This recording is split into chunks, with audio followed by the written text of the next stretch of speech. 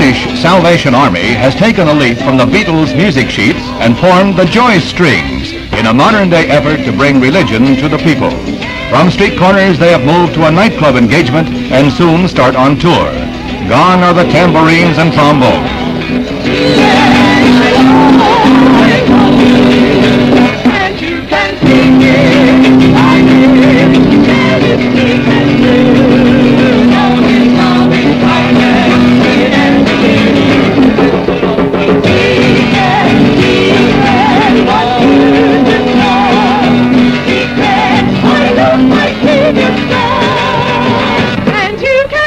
Yeah.